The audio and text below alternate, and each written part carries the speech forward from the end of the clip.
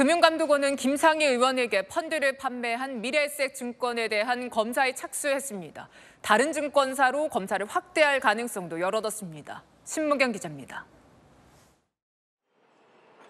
금융감독원이 펀드 특혜 환매 의혹과 관련해 미래에셋 증권 검사에 나섰습니다. 라임 자산 운용이 환매 중단 선언을 하기 한 달 전 미래에셋이 김 의원을 포함한 라임마티니 4호 펀드 가 입자 16명에게 일괄 환매를 권유했는데 그 배경과 라임과의 연관성 등을 들여다보겠다는 겁니다. 김 의원이 가입한 펀드는 만기가 정해져 있지 않은 개방형 펀드입니다. 통상 가입자의 요구가 없을 때는 환매를 권하지 않는다는 점을 감안하면 이례적이라는 게 금감원 판단입니다. 김 의원이 가입한 펀드는 일주일에 두 번 환매가 가능한 상품이어서 상대적으로 유리한 조건인 것으로도 드러났습니다.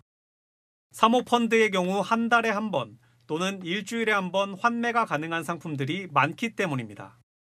금감원은 미래셋 조사 내용을 살펴본 뒤 필요하면 라인펀드를 판매한 다른 금융사들로도 조사를 확대할 계획입니다. 채널A 뉴스 신무경입니다.